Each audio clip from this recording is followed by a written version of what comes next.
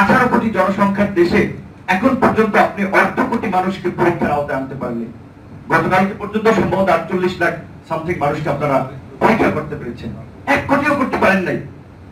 অর্থাৎ গোটা আঠারো জনের মধ্যে একজনকে এখন পর্যন্ত পরীক্ষা আনতে পারেনি আইসিউর কথা বলছেন। শুরুর যে ভ্যারিয়েন্টটা ছিল, সেটা যতটা না প্রকট ছিল বাংলাদেশের প্রেক্ষাপটে, এখন অনেক প্রকট হচ্ছে। অল্পতেই অক্সিজেন স্বল্পতা তৈরি হচ্ছে এবং আগে যেখানে প্রতি দশ জনে একজনের আইসিউ লাগতো এখন সেখানে প্রতি দশ জনে দুই তিন জন আইসিইউ লাগতেছে। এবং সাকিব ভাই বলেছেন এগারোশোটা উনসত্তরটা আইসিইউ সেগুলো তো শুধু করোনার জন্য আইসিইউ না, জেনারেল আইসিইউ সহ করোনার জন্য সম্ভবত মাত্র সাড়ে পাঁচশো আইসিইউ আছে। আঠারো কোটি জনসংখ্যার দেশে। আমরা সরকারকে জিজ্ঞাসা করতে চাই, আমাদের একটা তথ্য জানতে চাই, একটা বছরে আপনারা এক হাজার আইসিইউ স্থাপন করতে পারলেন না। করোনার ছোট পাড়াতে দিচ্ছেন এই করেছেন, সেই করেছেন। এক হাজার আইসিইউ আপনারা বৃদ্ধি করতে পারেন হয়তো করোনা ডেডিকেটেড হসপিটাল করেছেন, আমরা দেখছি যে করোনার পরীক্ষা করতে গিয়ে এই যে লাইনে দাঁড়ান লাগতেছে, মানুষ দাঁড়াচ্ছে আক্রান্ত রোগীরা।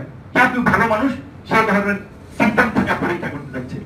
সে হচ্ছে আক্রান্ত হচ্ছে সেখানে গিয়ে, কারণ অনেক মানুষ রং দিয়ে দাঁড়াচ্ছে কোনো ওখানে ক্লান্ত হয়ে যাচ্ছে কেউ ওখানে অজ্ঞান হয়ে পড়ছে? এই ধরনের একটা অব্যবস্থা কেন আপনারা এক বছর সময় পেও শুরু থেকে আমরা আপনাদের অব্যবস্থাপনা মেনে নিয়েছি যে মিসম্যানেজমেন্ট আপনারা একটা নতুন অভিজ্ঞতার মধ্যে এসেছেন। আমরা কিছুটা মেনে নিয়েছি, কিন্তু একটা বছর পরে আপনারা পেরেছেন এর থেকে উত্তরণ একটা কার্যকর পদক্ষেপ গ্রহণ করতে ভ্যাকসিন আমরা দেখেছি যে শুরু থেকে একটা দেশের উপরে নির্ভরশীল হয়ে গেলাম এবং সেই ভ্যাকসিন ধরেন এটা দারুণাশা করবে কিন্তু সাকিব ভাই যেটা বলেছি সেটা আমরা বিভিন্ন তথ্য মতেই যেটা পেয়েছি যে দক্ষিণ আফ্রিকার ভ্যারিয়েন্টটা কোন ভ্যাকসিনই ওইভাবে এখন পর্যন্ত ইফেক্টিভ না। মডার্ন ফাইজারের ভ্যাকসিনও ওইভাবে এখন পর্যন্ত টোয়েন্টি টোয়েন্টি ফাইভ পার্সেন্টের মতো বোধ হয় ইফেক্টিভ আছে। সেরকম একটা তার চেয়েও কম। সেখানে তারপরেও যেহেতু ভ্যাকসিনের উপর সারা বিশ্ব ডিপেন্ডেবল হয়েছে, চলছে। সুতরাং আমরাও সেটা অবশ্যই অ্যাকসেপ্ট করব। কিন্তু এই ভ্যাকসিনের উপরে আমরা একটা বেসরকারি নির্ভরশীল হয়ে গেলাম। এবং ফেব্রুয়ারিতে যেখানে পঞ্চাশ লাখ ডোজের কথা ছিল, সেখানে বিশ লাখ এসেছে। মার্চে তো আসেইনি। তো আপনারা কি চুক্তিটা করলেন? আপনাদের জনগণের প্রতি যেটা মায়ানামূলক আমাদের প্রকৌশলী এবং বিভিন্ন নাগরিকরা বলেছে যে সরকারের প্রবলেম হচ্ছে যে তারা আসলে জনগণের ভোটে নির্বাচিত না হওয়ার কারণে তাদের জনগণের প্রতি দায়বদ্ধতা নেই। তারা মনে করেন ক্ষমতায় থাকাটাই মুখ্য বিষয়। কারণ আজকে জোনাস সাকি মতো ব্যক্তি, জাফর চৌধুরীর মতো ব্যক্তি বিএনপির মতো একটা বড় পলিটিক্যাল পার্টি সিভিল সমাজের প্রতিনিধি জাফরুল্লাহ স্যারের মতো, তাদেরকে নিয়ে সরকার একটা জাতীয় কমিটি করতো।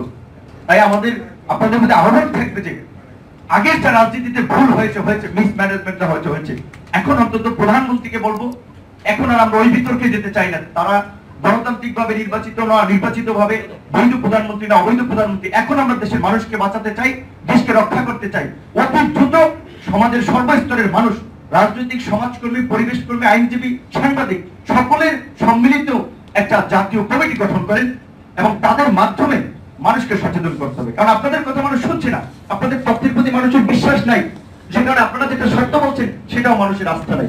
সেখানে কথা বলতে হলে সমাজের গ্রহণযোগ্য ব্যক্তিদেরকে সামনে নিয়ে কথা বলতে হবে।